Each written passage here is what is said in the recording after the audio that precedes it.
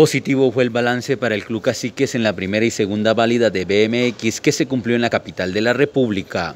Balance general de esta primera y segunda válida del torneo nacional de BMX fue muy positivo para el Club Caciques BMX, eh, en donde estuvimos representando a, a nuestro distrito a Barranca Bermeja y a nuestro departamento Santander. Oro, plata y bronce en varias categorías fue lo conseguido por los pilotos de Caciques la primera competencia luego del 2020 sin actividades deportivas. Cuota fue muy buena, pusimos, el club trajo cinco podios, dos primeros puestos, un segundo puesto y dos terceros puestos, eh, rescatando que pues, fue una válida eh, un poco atípica después de mucho tiempo de no, de no realizarlas. Ahora estos mismos pilotos con la compañía de su técnico y padres de familia se preparan para la tercera y cuarta válida del campeonato nacional.